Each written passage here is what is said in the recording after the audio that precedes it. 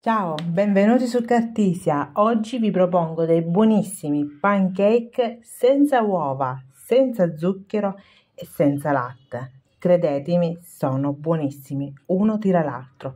Provateli per la vostra colazione o la merenda, sana e veloce. E se li provate, mi raccomando, lasciatemi un commento.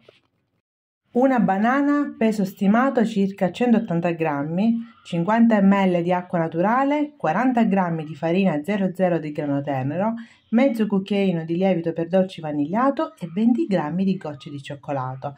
Allora vi dico già subito le sostituzioni.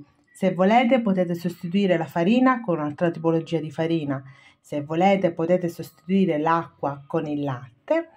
Eh, l'unico consiglio che vi do Controllate la consistenza perché l'acqua e la farina dipendono molto dalla consistenza della vostra banana, se è matura, se è troppo matura, se è poco matura. Quindi versate l'acqua poco per volta e la farina e otterrete un composto davvero fantastico.